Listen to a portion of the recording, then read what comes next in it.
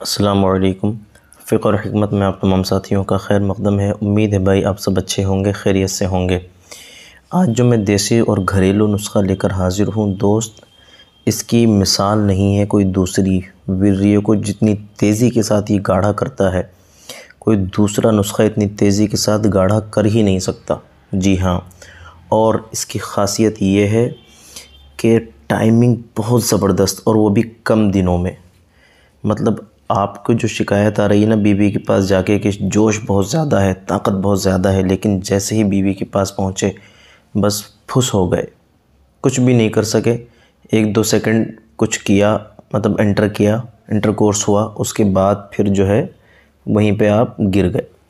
آپ یقین کرو، اس کو آپ استعمال کر لو گے نا تو شیگر پتن کی دقت بالکل ختم۔ صحیح سے جو آپ نہیں کر پا رہے ہو نا اس کو استعمال کر لو، پوری رات ایسا رہے گا جیسے تناؤ برقرار رہے گا، سختی بھرپور رہے گی اور شیگر پتن کا تو نام و نشان ختم ہو جائے گا۔ بغیر وقت کو ضائع کیے سمجھو کہ دوائی کیا لینی ہے اپنی اسکرین پہ دیکھو۔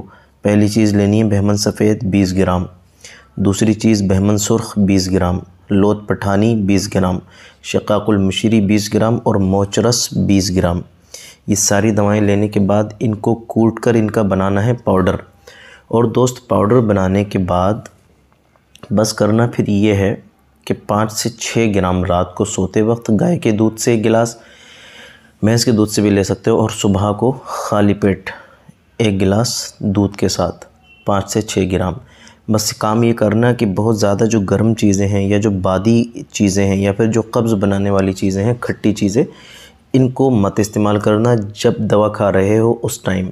پیٹ کا بھرپور خیال رکھنا، ایک مہینے سے چالیس دن تک اس کا علاج کر لو۔ انشاءاللہ اتنا زبردست یہ دیسی نسخہ ہے کہ تمہاری ساری منتیں ہو جائیں گی پوری۔ امید ہے نسخہ اچھا لگا ہوگا۔ اللہ پاک اس سے خوب فائدہ دے۔